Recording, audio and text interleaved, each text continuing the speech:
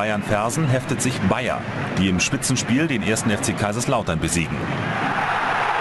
Bayer, die im Spitzenspiel den ersten FC Kaiserslautern besiegen.